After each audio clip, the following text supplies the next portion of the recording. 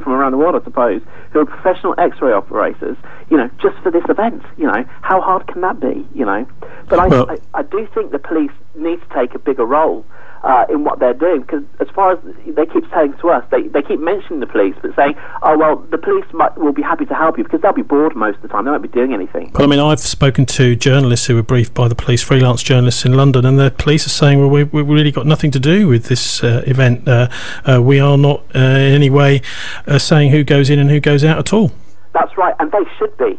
And and you know what? When um, uh, I was asking, I asked very subtle questions, and, and you know, so it doesn't seem like I'm a journalist sticking my hand up, you know. But when I, you know, I, I was asking basically, how are they going to, to, to, to be identifying, you know, potential, you know, uh, terrorists or you know, undesirables coming in? And he says, don't worry about that.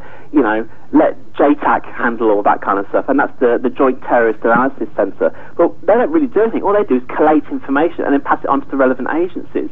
You know, so really, what, what, what we're hoping for, really, is for a terrorist to come with a big sign that says, I am a terrorist, and, uh, and for the security services to, to, to step in. Uh, unfortunately, in my experience and experience of the world, that doesn't tend to happen. So I think the police need to actually, you know, stand up to G4S. This is the police of this country. You know, um, uh, they are good at what they do. They are hard-working people. You know, we pay them a lot of money to do this. Um, I would like to see them at the Olympics doing their job. Okay, well, Lee Hazeldine, thanks ever so much for that fascinatingly detailed exclusive report. Uh, and we hope to be speaking to you, if you manage to remain undercover, in future weeks. Okay, Tony, thanks ever so much. Cheers. Now I'm joined uh, by Martin Summers in the studio. Martin, the implications here are pretty horrific, aren't they? The idea that a private company is running this, and also they are looking at it simply as a money-making exercise. What what Lee's alleging there is that they're cutting a lot of corners, and that ultimately that uh, that the games are wide open. Well, I think that's true, but I think also the point he made about the police not being in charge is extremely worrying. We know for a, for a fact from previous history that terrorist attacks on big events like this and big targets like the, the World Trade Center are not always carried out by people coming from outside. So, for example, I'll give you an example. The uh, the underpants bomber, so called, who uh, was arrested over uh, Detroit, uh, supposedly setting off a bomb in his underpants a couple of Christmases ago.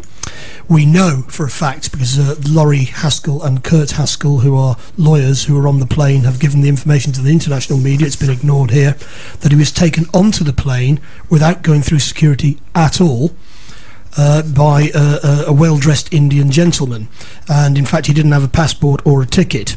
Now, in other words, and that was at Schiphol Airport in uh, uh, in Amsterdam. Now, the security at Schiphol Airport is not run by the Dutch authorities; it's been privatised. As we've just been discussing, it's actually run by an Israeli security company called ICTS, uh, who've actually been banned from various Scandinavian airports. Privatisation of security is an open invitation terrorist attack, and we're not talking about people in caves in Afghanistan. The looks like the underpants bomber was actually a set-up job by somebody's intelligence services. We're, we're not quite sure who. So, what evidence do you have for that? We've got Kurt Kurt Haskell.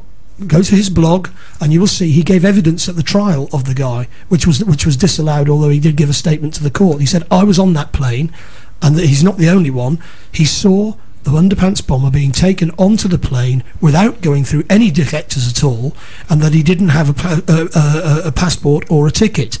Now, in other words, the real problem with terrorist attacks, and we could include 7 7 and 9 11 in this, is that they're not, in fact, carried out by random people trying to break through a security ring. They're done by people inside the security ring, often connected to intelligence agencies.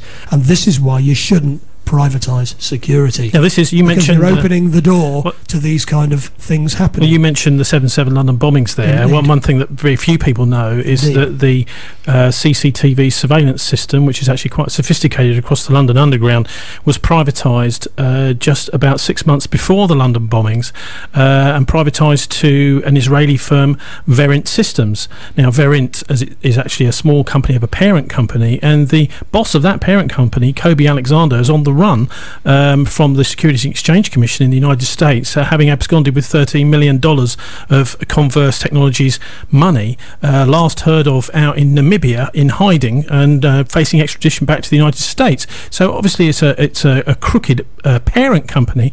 But Daniel Bodner, who's the chief uh, executive of uh, Verint Systems, who are the private security firm for the London Underground and still are, I believe, um, he's a former Israeli um, explosives officer in the Corps of Engineers in Israel. Indeed. So we talk about oh, we, who are the experts to protect us from the terrorists? So it'll be the te- experts on anti-terrorism. That'll be the Israelis, and they win these kind of contracts. But it's not just the Israelis. We know that there were uh, that there were exercises running on the day of 7/7 because Peter Power told uh, the, the TV audience uh, that they were planning uh, exercises on bombs going off in exactly the tube stations where they did go off. Which is why when Lee was talking there, I presume that's not his real name, about them talking about there will there will be some kind of event at the Olympics, and we've provided all these body bags.